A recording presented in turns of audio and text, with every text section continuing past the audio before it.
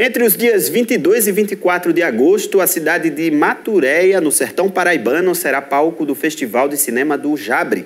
E no momento, o festival está com inscrições abertas para uma mostra competitiva de curtas-metragens.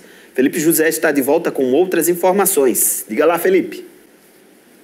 Olá, Leandro. As inscrições para a mostra competitiva do Festival de Cinema do Jabre estão abertas até o dia 4 de maio. Estão aptos a se inscrever curtas-metragens com até 20 minutos de duração, realizados a partir do dia 1 de janeiro de 2023.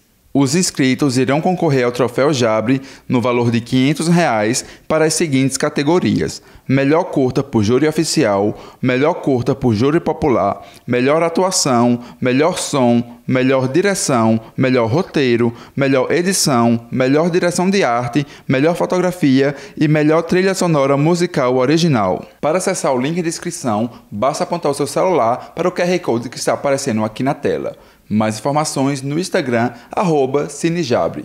Por hoje eu fico por aqui, um abraço e até a próxima semana, Leandro.